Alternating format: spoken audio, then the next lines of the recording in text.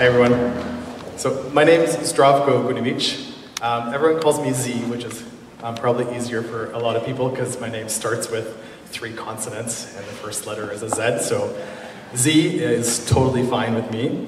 Um, I'm the Waterloo candidate for the Green Party, as was mentioned, and I'm very excited to be here tonight. So thank you very much for inviting me and inviting the rest of the candidates here to speak with all of you.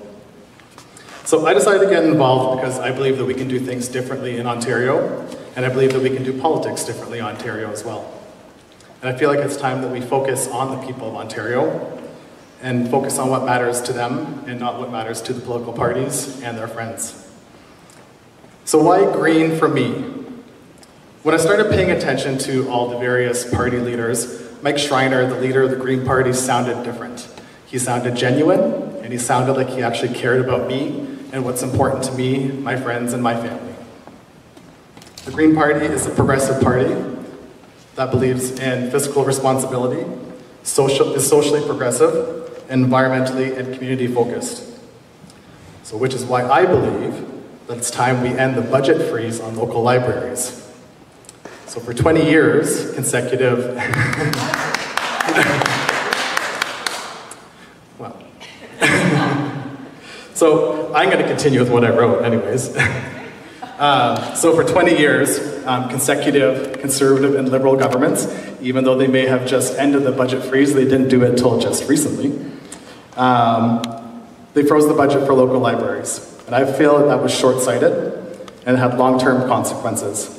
So the policy of freezing the budget for local libraries means that libraries today have 42% less money than they would have due to inflation. And that places a very big burden on the municipal tax base because libraries are important. And many people don't realize how important libraries are. The resources libraries provide go well beyond books. They provide, they provide access to internet, magazines, movies, other forms of entertainment, social, um, socializing, as well as classes.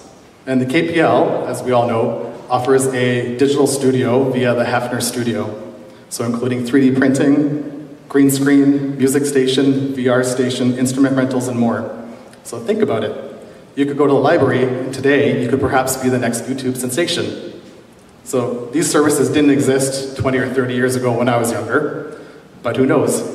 if YouTube even existed 30 years ago, maybe I would have been the next YouTube star back then. So growing up as a first generation Canadian, my parents couldn't really help my sister and I very much with schoolwork, so we relied on the library, specifically the KPL. So we grew to love the library and the resources that it offered us.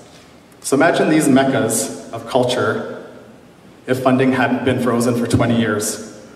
Modern libraries, as we know, are economic incubators that support innovation, entrepreneurship, and community economic development. Libraries also welcome new Canadians to our communities. They support literacy and ESL services. Libraries provide our cities and towns with economic and community benefits as well. And it's time that our provincial government recognizes that. So we support the Ontario Library Association's request for funding increases of public and First Nations libraries from 33 million to 50 million indexed to the consumer price index. So we have an opportunity in this election to do something that different, do something that matters. Together we can make a positive change for the people of Waterloo, Waterloo region, and Ontario. So hope that you'll support me and the Green Party on June 7th.